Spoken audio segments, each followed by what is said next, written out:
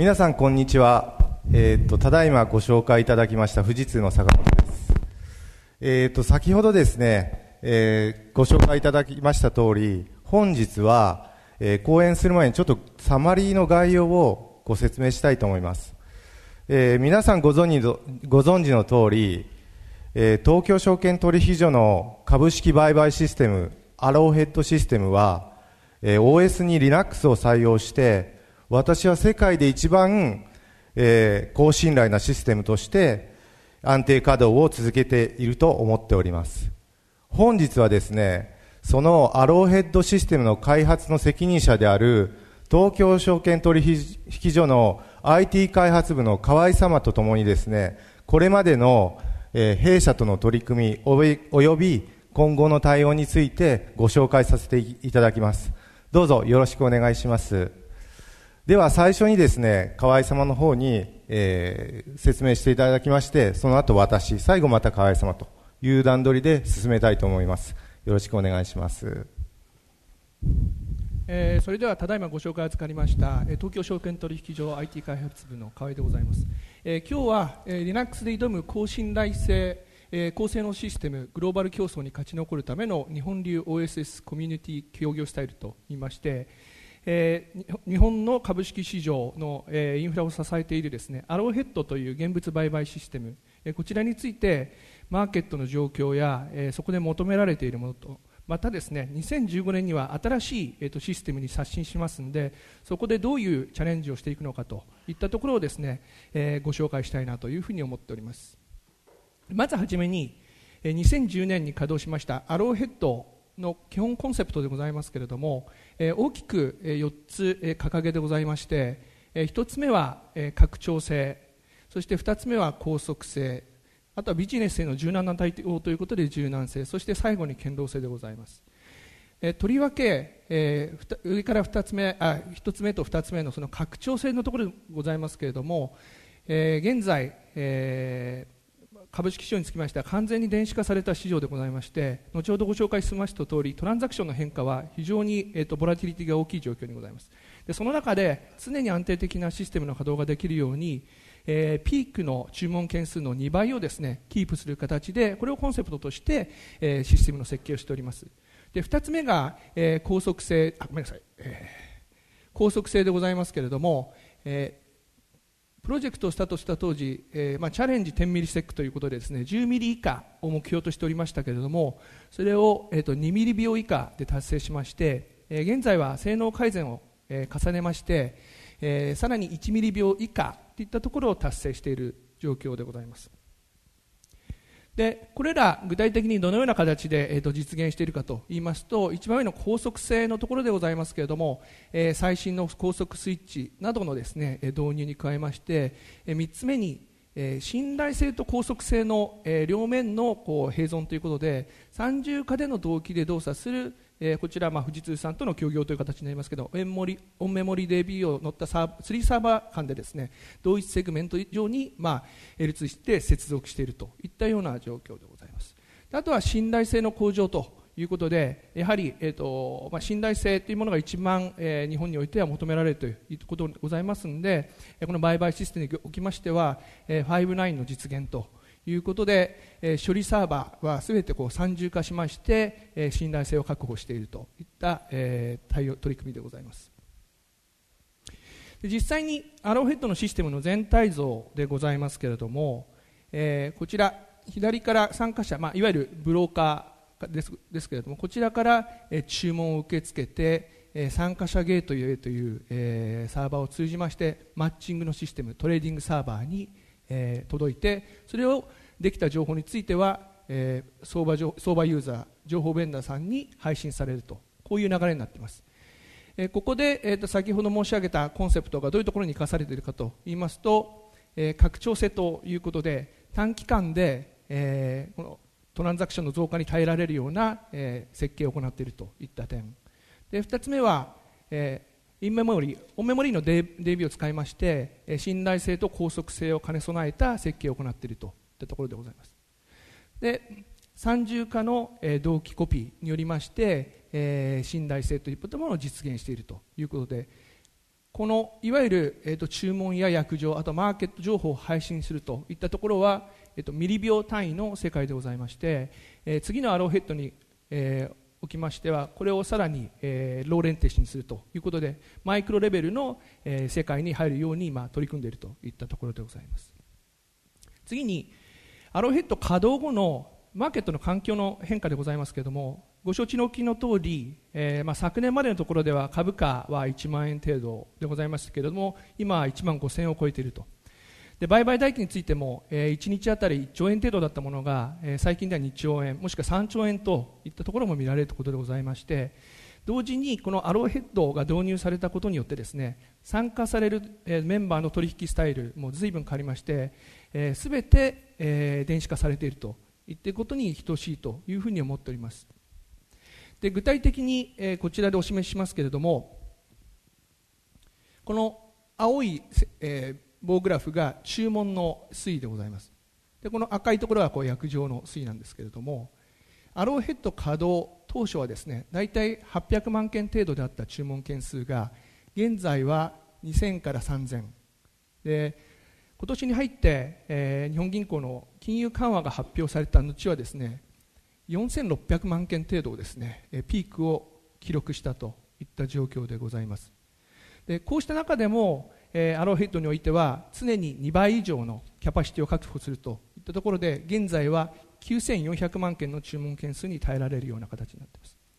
で来年はですねこのトランザクションの変化だけではなくてルールの改正を行ってですね、えー、まあ、より細かい値段で注文を出せるようにしますのでそうなりますとまた、えー、注文の件数を増えますので来年の7月に向けては1.4億件の注文を受けられるような形で、えー、キャパシティプランニングを行っているというような状況でございます。で先ほど、え完全に電子化された市場ということで申し上げましたけれども、えこちらはコロケーションとマーケットの変化というタイトルでお示ししています。コロケーションというのは、えー、いわゆる HFT、えー、がですね low latency でよりビビッドにマーケットの情報を得ながら、えー、タイミングを見てコンピューターではしあの取引したいというニーズから我々の売買システムの横にですねサーバーのエリアを置いて、まあ、そこにはプログラムしか入ってないんですけれども、えー、そこから自動発注されているような取引ということそれをコロケーションというふうに言うんですけれどもこの、えー、線グラフは取引所が今受け付けている注文件数の中でその自動発注コロケーションから発注されている注文件数の比率なんですけれどもアローヘッド稼働当初は全体の注文件数の10%程度だったわけなんですけれどもどんどんどんどん電子化が進んでおりまして現在はシステムが受けている注文件数の60%が実に東証の売買システムのあるデータセンターのそばにですねまさにその横に置いてある、えー、コロケーションエリアから発注されているといったところでございまして大きくマーケットの姿は変わっているということを示してございます。じゃあこうした中で次のアローヘッドでどういうふうな対応をするかといったところでございますけれどもこのような、電子化の市場の変化の中では一方で、いくつかのトラブルというものも起きております、えー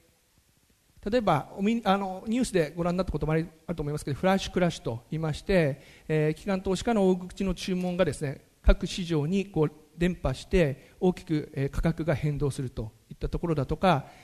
プログラムの、まあ、ミス等によるアルゴリズムの暴走また取引所サイドにおきましても、まあ、新聞の記事だと2011年の1年間において米国では110件以上のシステムトラブルが起きているといったことでございましてこうした中では電子的な取引のリスクの削減あとシステムの信頼性のさらなる向上ということが必要でございまして次のアローヘッドではこうアルゴリズムの暴走がをあの感知した場合については回線を切断するだとかですね、えー、いろいろな大口な注文が入ってきたときに、えー、その注文をこうリジェクトするといったいわゆるリスクコントロール機能といったものを、えー、装備するといった予定でございます。あとシステムの信頼性の向上という意味では、えー、我々も残念ながら昨年、えー、製品の障害等々によりまして、えー、売買停止に至る障害を起こしてしまいました。でこれまでは、えー、アプリケーションの障害ということは多かったんですけれども、えー、このアローヘッドにつきましてはかなり品質コントロールということも、えー、きちっとやりましてアプリケーションについてのいわゆる不具合というものはほとんど見られないんですけれども逆に言うと、えー、製品、えー、ファームウェアミドルウェア OS といったレベルでのですねえー、関連性でのトラブルといったものが出ている状況でございますのでその中で次のアローフェットでは、まあ、フェイルソフトというコンセプトでシステムの障害などが起きた場合もですね先ほど三重化しているというふうに申し上げましたけども何か怪しい場合、えー、とことが起きた場合については積極的にそれを切り捨てて、えー、正常系のところで極力こう業務を継続すると。いったコンセプトのもとに現在、えー、富士通さんとともに製品ソフトウェアオペレーションについてですね設計やその運用の検討を進めているといった状況でございます。で先ほど信頼性の、まあ、向上という切り口で申し上げましたけれども当然ながら、えー、先ほど申し上げたようなトランザクションの増加が来ておりますのでシステムの処理性能への向上への挑戦ということも必要でございます。先ほどは1日あたりのトランザクションについてご説明しましたけれどもこれは日中でございます。日中の注文件数と約定件数のボラティリティでございまして、えー、朝注文のゲートウェイが開いた時に始まってですね寄り付き、えー、大引けっていう形になるんですけれどもその間もですねこれだけこうボラティリティが高くですねトランザクションが変化していると。で少しでも重要なニュースが出るとですねこう跳ね上がったりとかですね、まあ、こうしたトランザクションの大きな変化の中でもきちっと処理能力が安定していくといったことが求められると。いった状況でございます。あと右は単位時間あたりこれは秒間あたりの注文件数の変化ですけれども稼働当初は7000件程度だったものがこれどんどんどんどん、えー、発注側のアルゴリズムの向上ということも性能向上もありまして現在では2万件程度秒間でですね注文を受け付けているといったものでございますので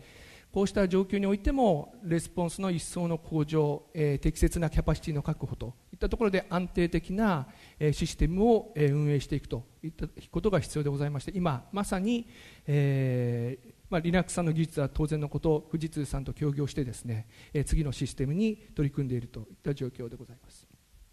ではここからは、えー、今、えプロジェクトを一緒に進めて、えー、進めさせていただいております、えー、あの富士通様にですねバトンタッチさせていただければと思います。はい、ありがとうございます。では弊社のあの Linux の取り組みについてご説明させていただきます。えーと、まず最初にですね弊社は、えー、富士通のお客様として東証様はじめ日本の社会基盤を支えるまあ、ミッションクリティカルシステムのメインフレームの時代より、えー、支えてきました。でこれらのお客様のシステム要件に対してオープンプラットフォームで、えー、実現する上で何を採用するかというところで基盤 OS として Linux を採用しました。これまでのメインフレームや Unix サーバーの培った技術とノウハウを Linux の機能開発に生かしてミッションクリティカルの領域まで Linux を強化するということに取り組みました。実際にですけどどういう形で取り組んできたかというところですがハードウェアからミドルウェアまでシステム全体で Linux のシステム強化を行ってきました。ハードウェアに関してはメインフレームクラスの高信頼性サーバーであるプライムクエストを開発しまたミドルウェアにおいてはですねメインフレーム時代より信頼実績のある、えー、ミドルウェアをオープン化しまして全て揃えました。本日はですね OS の開発およびサポートサービスについて詳細を説明したいと思います。まず OS の開発ですが、えー、弊社はですね、えー、レッドハットインテル各社と戦略的業務提携を結びミッションクリティカル向け機能の開発に取り組んでまいりました。で特にですね我々重点を置いたのがこちらですね。オープンソースコミュニティでの Linux カーネル強化ということに重点を置きました。えー、っともちろんですねもう一つ言い忘れてしまいました。すいません。Linux ファンデーションにですねボードメンバーとして参加してですね Linux の標準化とか普及に対してもえー、我々積極的に取り組んでまいりました、えー、続きまして、えー、っと機能開発の状況についてご説明いたします。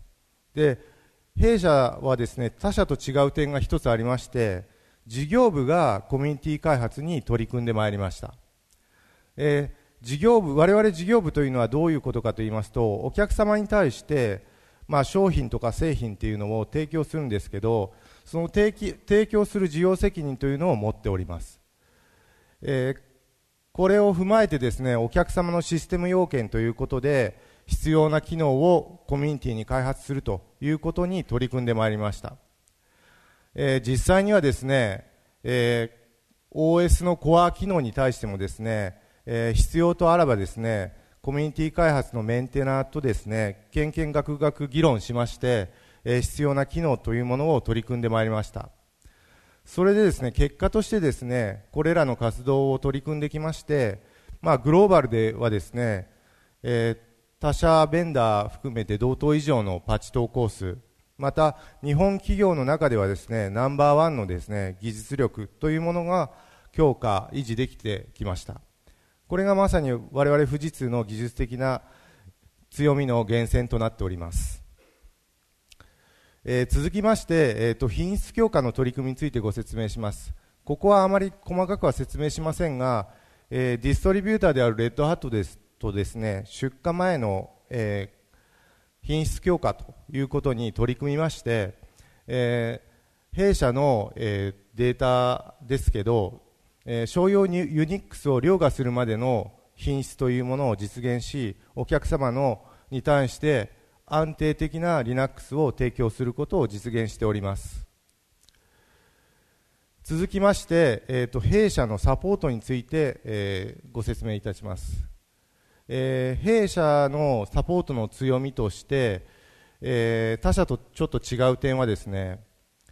このサポートの部隊の中にですねコミュニティを開発している開発部隊が一緒に入った上で、えー、サポートを提供しております。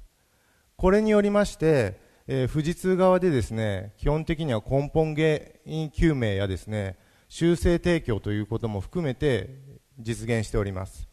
えー、具体的に言いますとですね、まあ、我々の開発部隊の中のものがえー、原因が分かった上でパッチ投稿の提案までレッドハットに提案した上でお客様の修正提供を迅速に実現しているという状況になっております。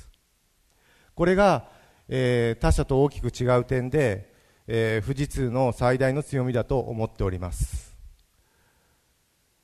えー、これによりましてですね、えお客様のインシデントの99%は弊社側で解決し残りの1%を、えー、レッドハットと共同で調査しているという状況になっております、えー、続きまして、えー、弊社のですねサービスについてちょっと簡単にご説明いたします、えー、我々はですねお客様の提案段階からですね OS の事業部が入って技術的な支援を行っています。具体的にはですねお客様のですね設計段階の時点で、えー、OS の事業部が設計値のレビューやを行ったりですねあと、あの性能を高めるためのチューニング支援などというのをシステム全体通して OS の観点から技術支援を行っています。また、えー、先ほどお話ししましたサポートに対して、えー、ミッションクリティカルシステム向けにですね保守を、えー、効率的にできるために、えー、必要な重要障害だけ提供するというプログラムを我々富士通の方で開発いたしまして、えー、それをレッドハットとから、えー、あレッドハットから提供していただきました、えー、これら、えー、っと我々、えー、弊社は提案段階から運用に至るまで OS 事業部が一貫したサポートサービスを提供してお客様の安定稼働を実現しております、えー、続きまして継続的な技術革新の取り組みということで、えー、2、3お話しさせていただきます、えー、っと今回は一例としてですね、えー、高性能システムを開発する上でどのような技術的な支援をしているかという点をご説明いたします、えー、高性能システムを開発する上ではえー、一番は、えー、業務処理の時間を正確に知るということが一番重要になっています。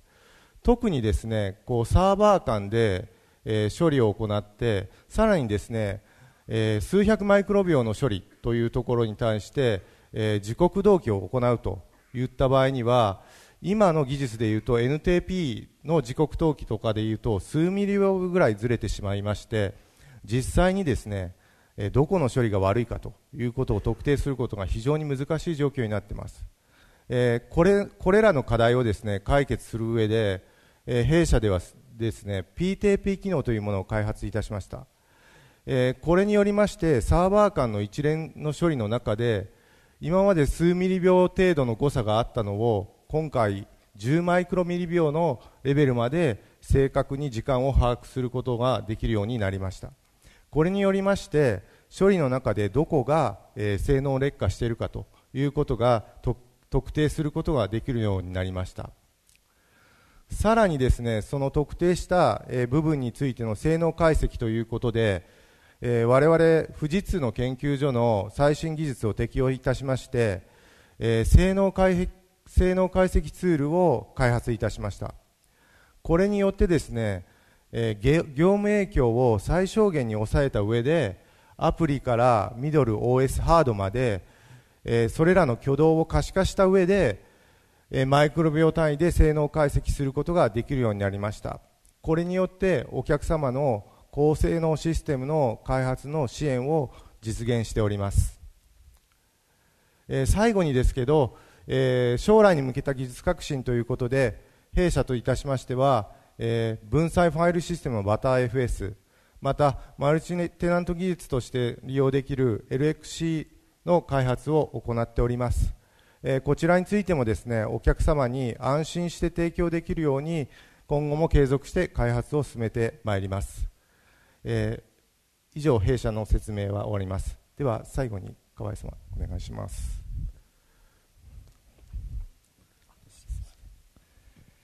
えー、それでは最後にですね、えー、次期アローヘッドに向けた、えー、富士通様、えーと、東証の両社協業の取り組みについて、えーと、ご紹介いたします、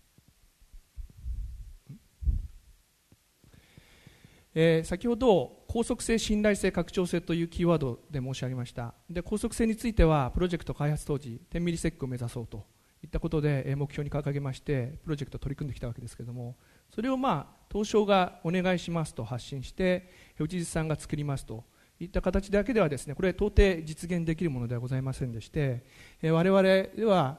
えー、こうした非機能の要件についてプラン、ドゥ、チェック、アクションということで、えー、マネージメント計画の策定、えーまあ、その実行、チェック何か問題があれば、えー、アクションを打つというこの PDCA のサイクルを回しながらですね引き野の要件の実現に取り組んでいるといった取り組みでございます。で具体的にでございますけれども組織的には上が東京証券取引所でございますけれども IT 部門だけでその高速性や、えー、信頼性また拡張拡張性について考えていっては、えー、片手落ちになってしまいましてやはり業務部門と一体になって、えー、プレイヤーの声も吸い上げながらどういうトランザクションの見込みを立てるのかその中でどういう実現をしていくのかといったニーズをきちっと固めるというのが東証の役割でございまして、えー、藤井さん側も、えー、プロジェクト、えー、側だけの SE 部門だけではなくて、えー、当然ながら製品部門、えー、その他の部門も一体となってですね